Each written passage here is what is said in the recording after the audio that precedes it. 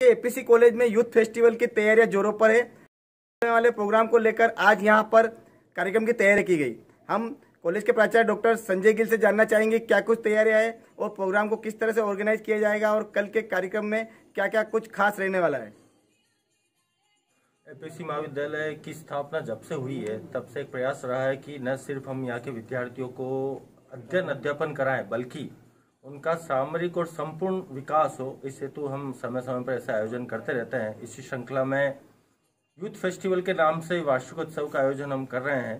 क्योंकि कोविड काल से, जैसा कि हमने देखा, विगत दो वर्षों से किसी प्रकार के आयोजन नहीं हो रहे थे राज्य सरकार के निर्देश अनुसार तथापि हमने इस सावधानी को भी ध्यान में रखा है और एक बार पुनः भव्य आयोजन की ओर प्रतापगढ़ की जनता को, प्रतापगढ़ ज़िले की जनता को लेकर चल रहे हैं। यूथ फेस्टिवल का आयोजन माननीय प्रोफेसर आई वी त्रिवेदी, जो कि कुलपति हैं, गोविंद गुरु जनजाति विश्वविद्यालय, उनके मुख्य अतिथि में आयोजित होगा।